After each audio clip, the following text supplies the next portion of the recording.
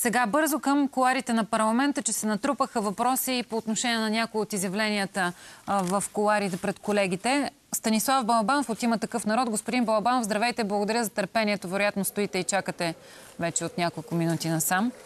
Здравейте, добър ден. замислих се откъде да започна и ми се иска да ви попитам за този призив на Надежда Йорданова по отношение на това да се свърши, парафразирам работата, свързана с новия Виш съдебен съвет, който вече не е съдебен съвет според промените, е прокурорски и съдийски съвет.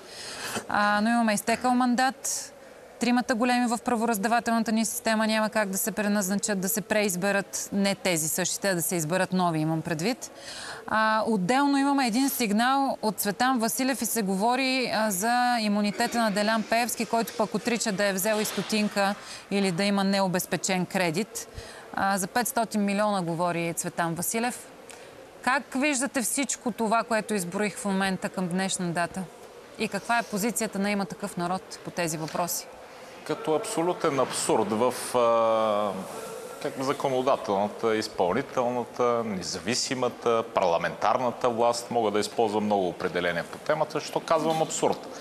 Нали, вие цитирате колеги народни представители, които са представители на една от политическите формации, която имаше възможност по всичките тези теми да даде своята подкрепа и сега да имаме редовен кабинет цяла седмица, когато има такъв народ, беше носител на третия мандат, всичките тези въпроси бяха поставени на масата. Висшия съдебен съвет, антикорупционната реформа, съдебната реформа, разбира се, изолацията на такъв като Пеевски. Разбира се, това е новина за вас в навечерието, когато вече видяхме, че всички останали отказаха. Въпреки всичко има такъв народ. Успя да намери мнозинство за кабинет извън ГЕРБ и ДПС.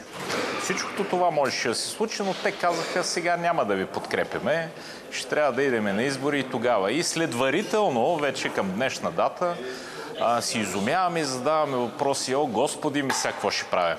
Обикновено продължаваме в промяната ДБ са така. Имаха възможност а, отдавна да си иска имунитета да господин Певски. Цветан Василев това го е разказвал, примерно давам ви за пример в телевизия 7-8, десетократно преди да бъде изслушван и да говори също в комисия в Народното събрание. А защо една година, докато управляваха ППДБ с Певски, не заговориха за неговия имунитет? Може би тогава удобно стояха в скута му, сега се сетиха преди изборите. Добре, това, това е са чисто... примери. Да. Не, това са примери и фактология по темата, не, не, за да си ви, отговорите на въпроса да, не как изглеждат политиците отстрани. Разбрах, разбрах, разбрах ви. Обаче, ако бъдете поставени депутатите в ситуация с процедура, всичко нагледно, както си му е реда при изискване на имунитет а, а, на един народен представител. Как вие ще гласувате в залата? Е, ще е подкрепите ясно, ли смисъл, падането на имунитета на, на Делян Пеевски? При достатъчно фактология по темата, с която те първа трябва да се запознаем, за да мога да видя въобще предложението какво е. Разбира се, че ако има достатъчно фактология по темата, бихме подкрепили едно такова действие. Ма, вижте, по принцип логиката на този парламент беше, когато имаше достатъчно фактология по темата и за Бойко Борисов, и за Кирил Петков, за Лена, за Бойко Рашков. Разбира се, че ще подкрепяме сваляне на имунитети. Сега друг е въпросът доколко вече прокуратурата е независима. Аз ще ви го кажа. Доколко Тя отдавна е зависима. е независима. Тя отдавна е зависима. Това исках да ви кажа. Е, така че това по-скоро е предизборна димка от ППДБ да замаскират миналото с Пеевски, с който промениха Конституцията по начин, по който сегашното служебно правителство е в ръцете на такъв като Пеевски и като ГЕРБ. Разбирате ли парадокса, в който сме изпаднали? Така че а, искам максимално да оставям на страни предизборните димки на такива, които най-вероятно отново ще не, не е автомат, не, ня, няма да, атентат в партийния дом. Се, да а все още няма такъв ход. Само изчакайте, тъй като има някакъв брифинг.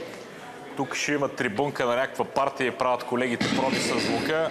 Мога аз да се дръпна, ако искате с оператора по някакъв начин, за да се чуваме. Ами ако може нещо да звука. отиграем в движение... Ми дайте да го отиграем. давайте, Ние да. имаме опит. Елате Да. се дръпнем някъде настрани. Виждам, че господин Димитров и А, господин Христов също чакат за Ми включване чакат, след вас. да, и той и техния реч ще дойде само да се дръпнем, ако имате звук, можем Добре. да направим жива връзка, интервю мога да взема от колегите, няма проблем. Слушам ви. Е, Господин Балабанов, понеже ни припира времето, освен че и звука нещо започваме да се справяме с предизвикателства Така. на живо. А, кажете ми обаче нещо друго, понеже споменахте интервюта в 7-8 на Цветан Василев и според вас към днешна дата има ли такава фактология, а, която би ви накарала да гласувате с копче за падането на имунитета на Делян Пеевски в пленарната зала, ако, пак казвам, се стигне до такава процедура по отношение на този сигнал? Вижте, като цяло, та- такъв като господин Певски е проблем в българското общество повече от 10 години вече. Аз няма да кажа нещо по-различно по темата, защото аз съм бил по площадите срещу този модел на управление. Логично обаче, ако институциите в държавата са независими и наистина си вършат работата обективно, а не да се занимаваме с предизборните идеи на една конкретна политическа партия, да действаме адекватно и да има резултат. Защото аз ще ви кажа какво ще стане. Резултат надали ще има от поредната предизборна димка на ППДБ. Предстои да видим. Няма проблем, нека се запознаем с фактология. По темата, ще е, решим и ще видите как ще гласува има такъв народ, но ако има достатъчно, пак се повтарям, доказателства, разбира се, че ние ще подкрепим такова гласуване, защото то, как да кажа, такива неща трябва да са равни за всички. Законите трябва да се спазват и когато има хора, които ги нарушават, трябва да си носят щетата за действие. Само ви дам бърз пример. Преди малко имаше гласуване в парламента по идея на Кирил Петков, Бойко Рашков да оглавява комисията За службите. която, да, която се отнася за служба. Извинявайте, Бойко Рашков имаше комисия с доклад от парламента, която доказа връзките му с контрабандисти. Затова ние предложихме по, по линията на Кирил Петков той да оглави търговския регистр. Лена ще му помага с фалшифицирането на документи. Добре, Абсурда е пълен. Извън политическата ирония, която вкарвате за ситуацията, взели са някакво решение в пленарната зала да ви ползвам за информация към този час. Има ли човек, който вече оглавява а, тази комисия за службите? Перефразираме. Не, кандидатурата на Бойко Рашков беше отхвърлена с над 135 гласа в зал.